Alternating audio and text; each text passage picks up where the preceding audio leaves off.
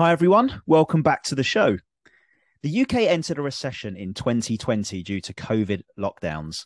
The economy plunged by 20% between April and June in 2020. That was businesses closing, people ordered to stay at home, of course. Uh, the GDP of the UK had fallen 2.2% between January and March. And at the time, the Office of National Statistics, the ONS, said that this is the largest quarterly contraction in the UK since ONS quarterly records began in 1955 and reflects the ongoing public health restrictions and forms of voluntary social distancing that have been put in place in response to the coronavirus pandemic. Now, whilst the majority of the world has largely moved on from the panic, uh, the pandemic, its effects still rumble with additional pressures from all the recent events that we've seen war in Ukraine, um, uh, and all sorts of other uh, challenges that we've had. Now, whilst we in the UK aren't yet in a recession, the Bank of England very recently has raised the interest rates from 1.25% to 1.75%. And this is the aim to try and curb soaring prices and warn that the UK will fall into recession at the end of this year, 2022. And it expects the economy to continue shrinking uh, through the end of the year and keep shrinking until the end of 2023. Now, they blame this decline, of course, on things like rising gas prices following the Russia's uh, Russia's invasion of Ukraine and the impact that that's had on the energy prices, and then the knock-on impact that that has across uh, sectors like retail and and car and, and transport and supply chain all over the world.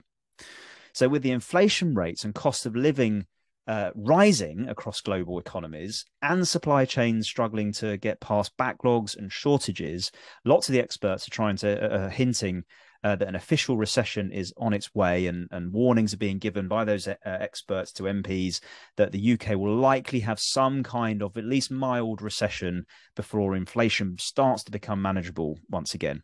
And that picture is similar in the US and across the world, and governments in particular are working to mitigate uh, the impact that this this can have.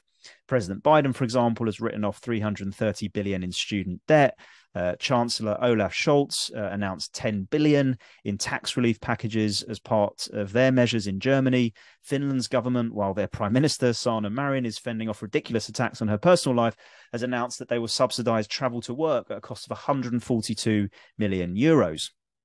So while governments are working to support people through these um, like global economic challenges of price rises, of cost pressures, of increased inflation, of this looming recession that I mentioned, what measures can data leaders and their teams put in place to ensure they have the right focus and attention in support of the trading environment that the business finds itself uh, with uh, in?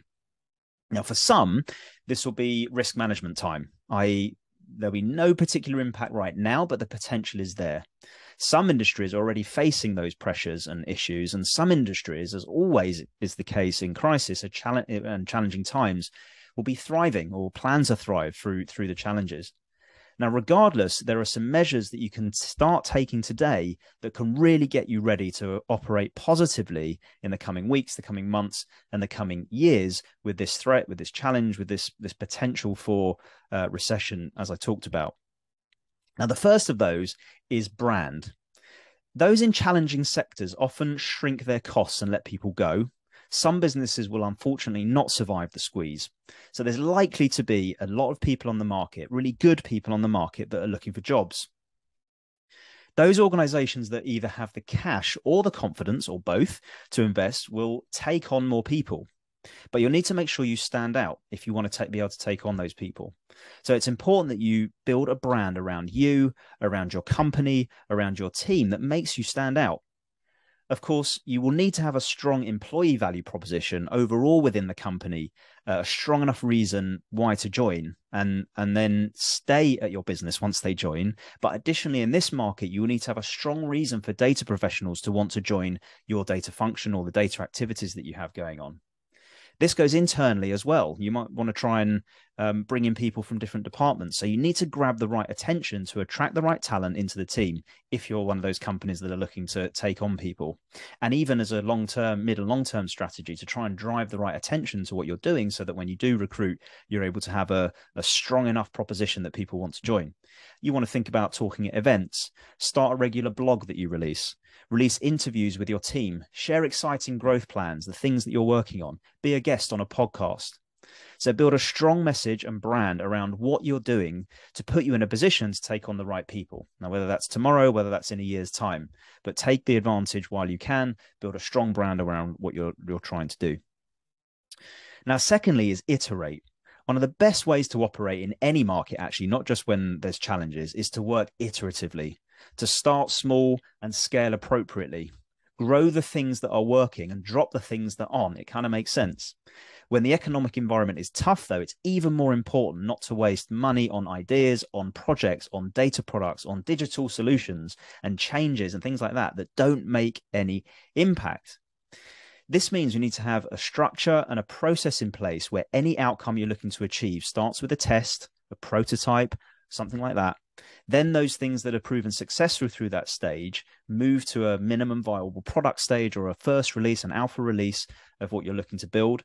And the things that are still proving to add value move to a beta and then to scaled solutions. Now, this way you invest only in the activities that are proven to add the most value. This goes for a dashboard or an algorithm or even a new way of working or process in your team. Test something, start small and scale it appropriately if it looks like it works. Now, this iterative mentality is so important when challenging times or environments and make sure that you're focusing your investment and your time, your energy, and your money on the things that add most value and that are proven to add most value. Now, third is repeatability and adoption. So you'll know this similar familiar story, I'm sure, around lots of duplication with, within the business, um, people creating, you know, multiple databases for for capturing customer data or for for building um, little data sets to build some reports from. Uh, lots of people uh, trying to build the same metrics. Lots of people trying to work out, you know, taking the same data feeds from the same place multiple times. Lots of people paying for external data sets that are basically the same, where you lose a bit of efficiency. So lots of duplication of effort around the organization. And now is a really important time to think about repeatability, to think about reusability, to think about assets that you can build once and use many times. It really manages the costs as building once and using many is way more effective way of using money than building lots of times and lots of uh, duplication of effort. Very inefficient way of doing things. And again, this could be for dashboards, this could be for data feeds, this could be for metric calculations. Let's build one measure of revenue and let everybody use that. Let's build one model for uh, I don't know, propensity model and let everybody use that. So think about ways of of repeating, re- building repeatable assets, re- repeatable things that you, you you you you build once and you use many times. Now, linked to repeatability is automation. You want to automate like mad. This could be a data feed. This could be metric calculations, as I said. This could be those propensity models. This could be observability routines, error handling, um, uh, uh, auditing, those sorts of audit logs, those sorts of things.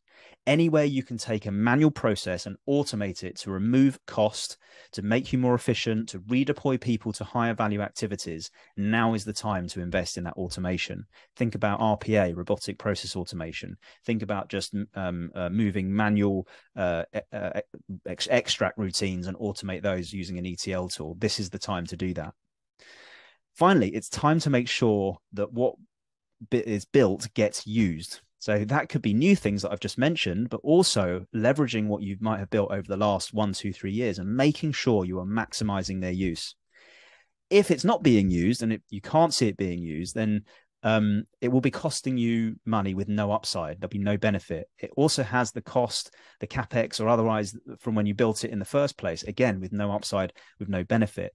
If something isn't being used or no longer needed, then drop it. Remove the cost, remove the support activities, remove the storage or processing fees that you're continually uh, have because you're maintaining something that isn't isn't used. So if you can't drive adoption, but let's try and make that happen, then let's remove the cost so that we're again being really sensitive to cost pressures that we might come under. Now, fourth is about technology. And in some ways, for the things we've talked about, you might want to uh, invest in new technology to help you automate, to help you build data products, to help you be more iterative. But really, I think now's the time to kind of look at the technology that you already have within your organization, look at the investments you've already made, and squeeze the hell out of them to make sure that you're getting the most from those platforms from that from that technology. This could be your ETL tools. If you've got two or three, let's just focus down, double down on the one that is being used the most and we've got the most skills on and and and, and drop the rest. If we've got um, uh, uh, uh, we invested in some um, other integration or some database platform technology. Let's make sure we've got all of the brilliant functionality and features that are, that exist within that technology being used in some way, so that you're getting the most out of the technology that you invested in. Use the features, use the functions that can that can help support you through this this time. Now, fifth is my favorite actually, which is high value focus in again in any environment but really importantly an environment where markets might be shrinking where opportunity might be challenged where uh, costs are under pressure where risk starts coming into uh, effect you want to be laser focused on value laser focused on the priority use cases that will add most value laser focused on uh, use cases on business problems that have a really strong business case a strong upside a strong potential and not only that, have a clear plan and route to get to that value. It's not just okay to have an idea of the value use cases that you want to go after, but it's really important that you have a plan about how you will do that and how you will get there one of the things this does is to help you not only find the right upside, and if we work iteratively, um, as I mentioned before, but it helps you to manage cost because you're focusing on the right things. You're focusing on the things that add most value. You're focusing on the things that you that we are confident will add um, uh, uh, the, the right opportunities to go after that add the most value that are going to be able to build return. And whilst you're in an environment where costs are under pressure and and uh, investments are being challenged, if you can prove that you're working on the on things that support trading through difficult times, um, through thriving through difficult times, then you'll have a really strong um, uh, reason to maintain a team, to maintain investment, to carry on doing the things that you want to do. Now, it is no coincidence that the measures that I've just talked through spell birth, brand, iterate, repeatability and adoption, technology, high value focus. Some of the world's largest companies started during a recession when the chips were down and opportunity was maximized. So if we think about Netflix, they scaled off the back of the dot com bubble bursting um, in the early 2000s. Airbnb was founded in 2008 during the Great Recession. Microsoft was founded while the US was immersed in stagflation in the 1970s.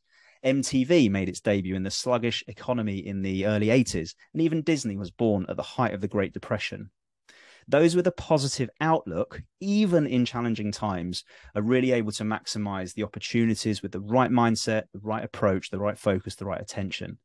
And with these measures that I talked about, the uh, brand, iterate, repeatability and adoption, technology, and high value focus, are able to really build a robust strategy and plan that has that focus, gets the most out of the investments you make, and builds a team and approach capable of truly delivering value. I look forward to hearing your stories of recession proof data strategies that are born in the coming weeks and months. Um, and I can't wait to hear how you've managed to uh, get ahead or, or, survive or thrive through the coming uh, year. Thanks very much. Catch you soon.